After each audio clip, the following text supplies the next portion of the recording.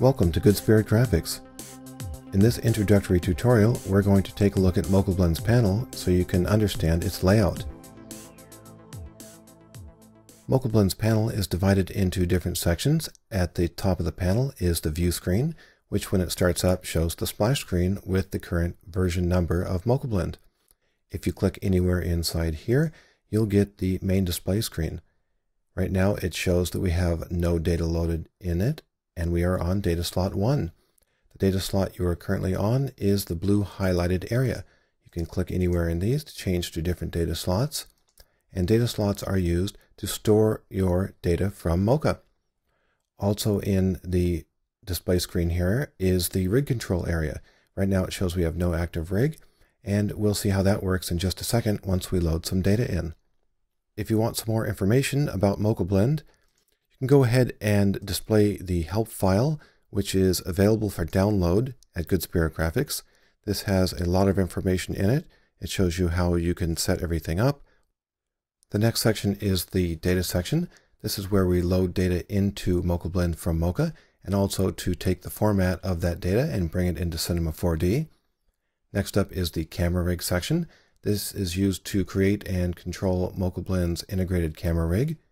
The next up is the Align section. This is used to align your rig to various objects inside Cinema 4D's world. And then we have the Object section.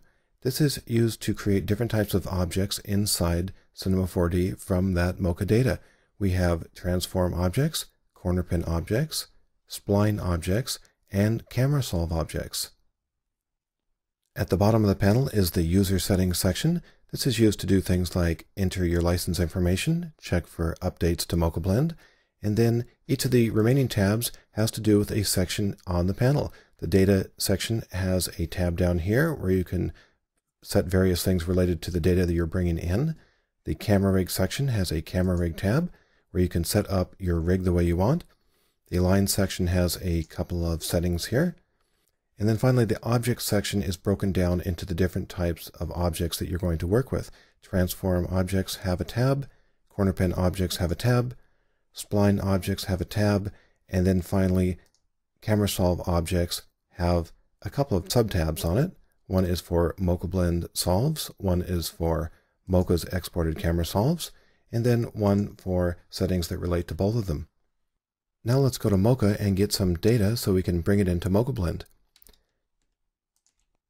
I set up a shot in Mocha already here. We're going to go ahead and export this layer here. We're going to click on Export Tracking Data, and you'll see this version of Mocha has a new exporter, MochaBlend Tracking Data. It also has another one for spline data, which shows up as MochaBlend Shape Data. Make sure you use one of these two exporters. MochaBlend works best if you use the new custom exporters, which are available in some versions of Mocha V4 and above. So let's go ahead and copy this to the clipboard. Go back to Cinema 4D. And with the data slot highlighted where we want to put the data, in this case 1, we'll go ahead and click on Paste Data. There, once our data is pasted in, you'll see it shows some information about it. One is the type of data, also the layer name from Mocha, some information about the format of the data, and then we have a section here which is a shortcut for fixing problems when you load in your data. A red line shows you something that's wrong. The green area is a clickable hyperlink that allows you to fix something without having to go and hunt down on the various tabs and find where the setting is. So the first one is Mocha C4D format mismatch. That tells us that the format of our data does not match Cinema 4D's current document settings. To fix that, we just click on this little area here, Import Format, and that brought the 1920 by 1080 into the Cinema 4D settings and also the rest of these settings. So next is no camera rig. Well, we need a rig in our scene to do anything, so we get a choice of create rig or set active rig. We're going to pick create rig because we don't already have a rig in our scene. So if we click on that, you'll see we get a new Mocha Blend rig. Now one of the first things you want to do when you bring data in from Mocha is to go ahead and click on this Set Timeline to Data button.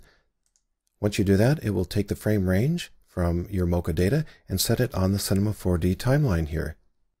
Now that we have a rig in the scene, our rig controls are now complete here, and we usually want to go ahead and put our footage in at this time. So let's go ahead and find the image sequence that we used in Mocha. Here we go, we'll grab the first image in the sequence, we'll pick it up, and just drop it inside our camera view area here.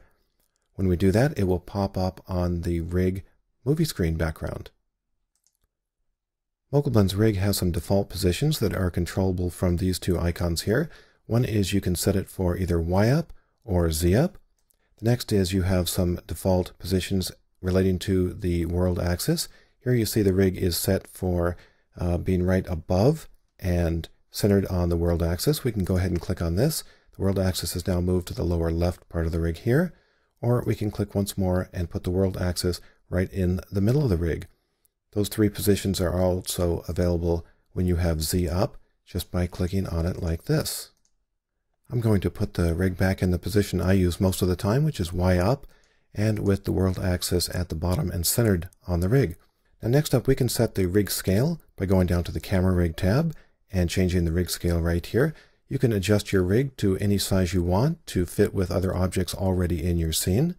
I'll leave it at 100% for this demo.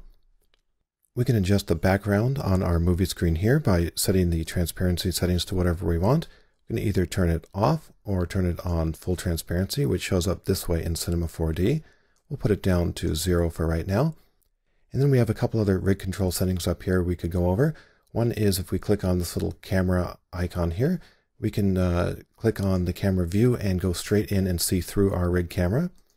Next up is the background visibility icon, which turns our footage background on and off.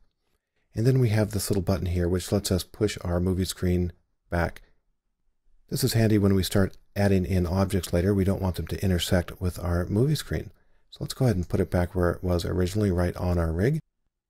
Now usually when you've positioned your rig where you want it, you want to lock it down with this little lock icon here. So let's go ahead and click on that.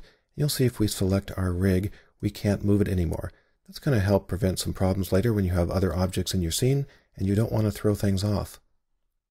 Now it wouldn't be a camera rig without a camera, so let's go ahead and expose it. We'll look at the uh, rig parent here, go down to the MochaBlend cam, and turn on the visibility. You'll see we now have an integrated camera that's built into our rig, and if you look at the field of view lines, you'll see it lines up perfectly with our footage. That allows us to render right out of this camera and use our footage in the render. Now it's a special type of camera that has its field of view always locked to that footage, no matter what the focal length is. So if we change the focal length here on the rig cam, you'll see the camera is going to move, so its field of view will always exactly match with the footage. That lets us set some interesting effects later, where we can adjust our field of view differently from the field of view that the footage was shot in. So we can mix and match, do crash zooms and various other effects with 3D objects in the scene and not be trapped by the original field of view of the footage. We'll take a look at that effect in a later tutorial. For now, let's go ahead and turn off our camera visibility so it's not in our way, and we'll go ahead and create something from our data. We'll create a transform null, and you'll see it pops up here on our rig. It is now part of the rig, and it's parallel to the rig because we have 2D motion here set in our solve mode. So let's go ahead and look through our red camera by clicking on this icon. And you'll see if we scrub the timeline here that our transform data is matching up perfectly with what we tracked inside Mocha. Now one of the nice things about MochaBlend's rig is our tracking data here is now part of our rig. So if we want to look back in our 3D view here, we'll rotate around, we'll unlock our rig and select it. You'll see we can move our rig around into any orientation look through our camera here, and you'll see our tracking data, if we select it here, is now still exactly in the right position. MochaBlend's integrated rig will make your life a lot easier when working with Mocha data inside Cinema 4D.